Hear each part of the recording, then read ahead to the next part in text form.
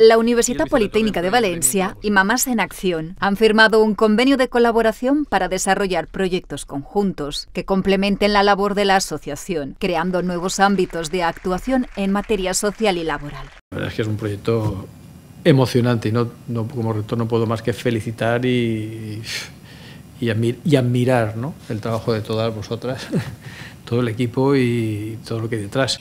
Mamás en Acción pues es un proyecto, yo creo que todos ya lo conocéis. Mamás en Acción solo tiene un fin y es que los niños y niñas que no tienen padres o no pueden vivir con ellos en nuestra ciudad tengan un referente, tanto emocional como una red alrededor que pelee con ellos, que pelee por ellos, como hacemos cualquier padre o madre por nuestros hijos. El desarrollo de las actividades se llevará a cabo por los voluntarios y las voluntarias de la Bolsa de Voluntariado Social de la UPV y estará coordinado por el Vicerrectorado de Responsabilidad Social y Cooperación a través de la Unidad de Acción Social. Nuestra bolsa de voluntariado es una bolsa de voluntariado que nace hace relativamente poco tiempo y que está muy clasificada en voluntariado deportivo, voluntariado, geovoluntariado, voluntariado lingüístico, pero hay una gran masa de voluntariado social.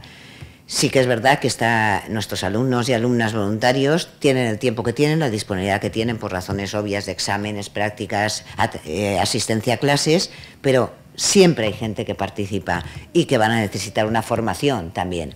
Pero tenemos otra ventaja, y es que esta universidad, dentro de esa responsabilidad social, tiene una universidad senior con 2.400 alumnos y alumnas, que son gente formada, gente con experiencia, muchas han sido madres y, y padres, y por lo tanto yo creo que el grueso de, nuestro voluntariado va a venir precisamente de esta gente. La cesión de espacios para la realización de acciones formativas o el compromiso de trabajar por la inserción laboral de los menores que residen en centros de acogida son otros dos apartados incluidos en el acuerdo.